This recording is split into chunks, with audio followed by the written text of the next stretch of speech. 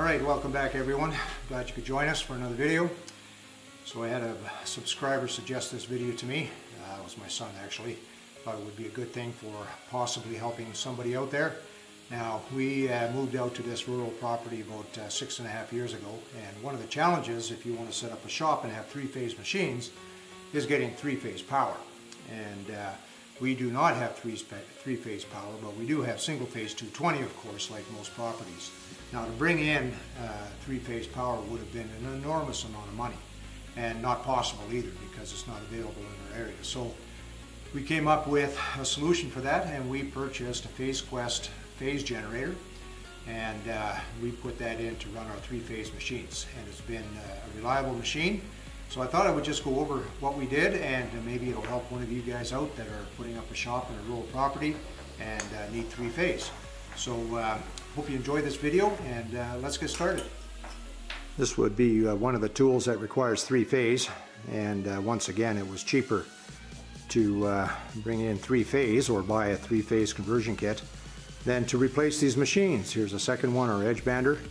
And uh, this one takes, I believe, 30 amps, and this one also is a 30 amp machine.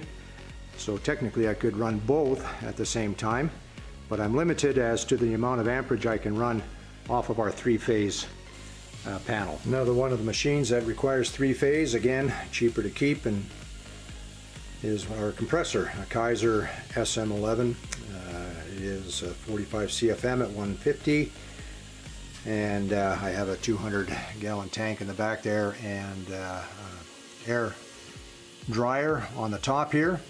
Never had any problems with that. That's a screw compressor. Uh, suits our purposes. It's actually way overkill for what I use around here. This is the main panel uh, that we brought in. 200 amp service which runs all of our single phase uh, machines and lights and everything else and plugs. And we have a dedicated 100 amp service. And I believe it's this one right here I've got it turned off at the moment because I'm going to open up the boxes for you.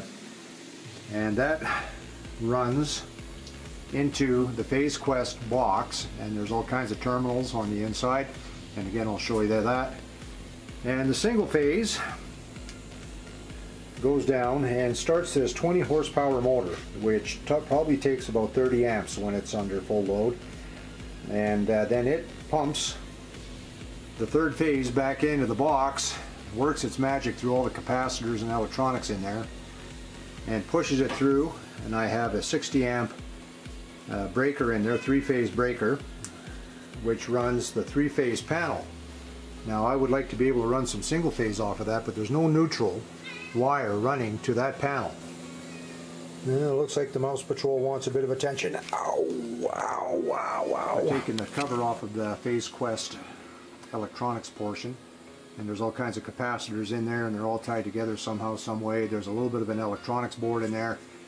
And uh, so the dedicated 100 amp service comes in. You run your 240 lines into the terminals here tighten them down really good.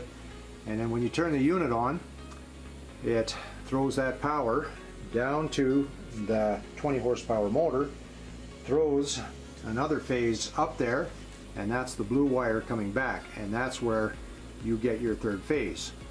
So then you can see a red and a black and a blue going into the three-phase 60 amp breaker into the three-phase panel. A quick look inside the breaker panel. There's the three lines coming in on top. Uh, you really got to crank those down, make sure that the lugs are tight. Goes through the breakers and that's flipped on and uh, then it allows the power to go to the three-phase panel. Now I would suggest that if you're buying one fuse, you may as well buy six or a pack of them because uh, uh, it's a pain if you have to run into town to grab one if uh, you lose power on one of those breakers. This is the 20 horsepower motor.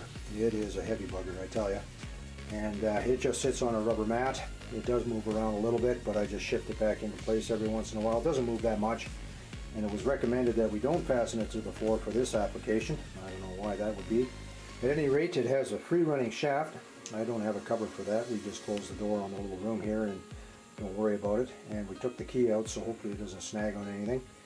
And then the wire just goes back into that little housing there and you have to force the wires into their terminals and uh, that's about all you got to do on the motor. Now it does have grease zerks on here, uh, but it does say that they're sealed bearings, so I don't know why you would have grease zerks in the event you have sealed bearings. These are the breakers, or the fuses that go into the breaker box. Standard 60 amp. You cannot get these at Home Depot or the big box stores. They sell the smaller ones, but if you need these, you have to go to an electrical supply outlet, and I would suggest you buy a few because it saves a whole lot of headache if you got to run into town just to get one fuse. And uh, of course, stopping production as well. any rate, uh, these are the fuses that go into the box. So we'll close that up and we'll turn on everything and show you how it goes. All right, so the first thing we're going to do is we're going to turn on our 100 amp breaker. So now there is power going to the Phase Quest box. Now for some reason, I don't know why this is, maybe I'm doing something wrong, but uh, the start and off button on this one uh, were opposite. So um, in order to turn it on, you just do this.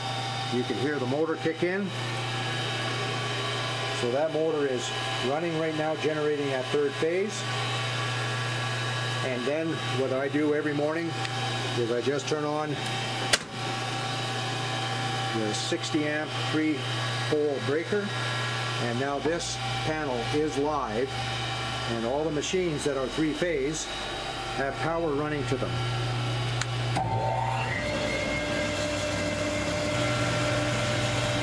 Technically you're supposed to turn off all your machines at night before you turn off the machine but all I do then at the end of the day is I just turn it off. It takes a while for the motor to stop spinning just because it's probably so heavy it's got a flywheel in there, it just keeps on spinning for a bit. And then, so that's my electrical system to getting three phase to the machines in the shop. Uh, the Phase Quest phase converter or generator uh, works well for our shop. It was considerably cheaper than uh, buying new machines to run on single phase. And uh, yeah, not as complicated as you might think. Uh, if you follow the instructions, uh, you can probably do it yourself if you're comfortable with that, but other than that, I would suggest getting an electrician to come and give you a hand. But yeah, handy little system.